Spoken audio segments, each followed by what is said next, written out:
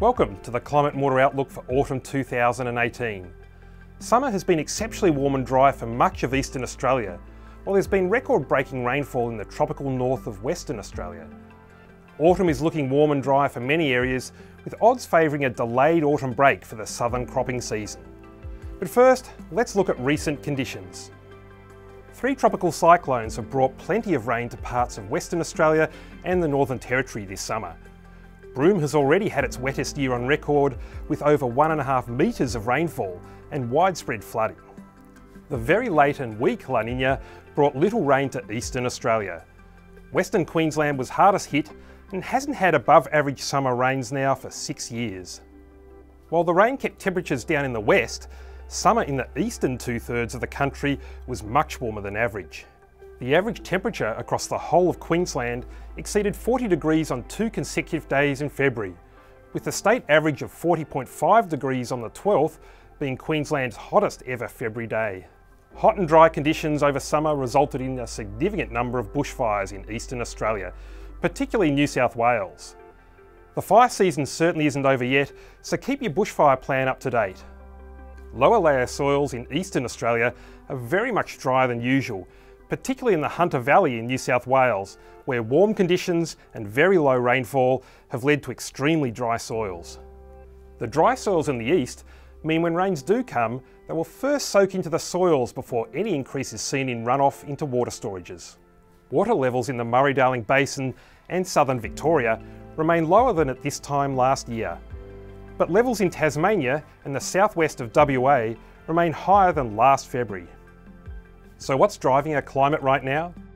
In the Pacific Ocean, the weak La Nina pattern is breaking down. Patterns in the Indian Ocean are already neutral and look likely to stay that way through autumn. But in the Tasman Sea, sea surface temperatures are currently the most above average on the globe. This could feed extra moisture into any east coast lows that develop later in autumn or winter. So what typically happens in autumn after a weak La Nina ends? The five most similar events ended drier than average over parts of central and eastern Australia.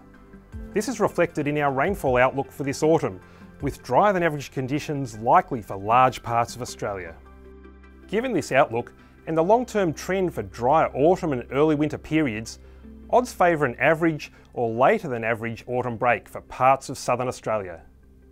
Looking at stream flows, low or near median flows are likely at most locations generally in the south and east where soils are dry.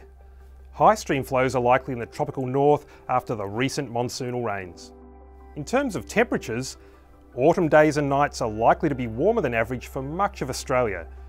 Heat waves can continue into autumn, particularly in areas with dry soils. So in summary, autumn is likely to be drier than average for large parts of Australia. Temperatures are likely to be warmer than average. Low or near median stream flows are likely at most locations, with high stream flows in the tropical north. And the timing of the autumn break for cropping in southern Australia may well be normal or later than usual. For more details, visit our website at bom.gov.au forward slash climate forward slash ahead. You can also get updates via Facebook and Twitter.